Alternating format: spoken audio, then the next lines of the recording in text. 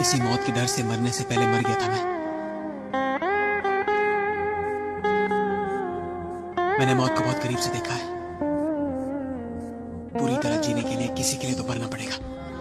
बस कुछ देर और मुझे ज़िंदा रख।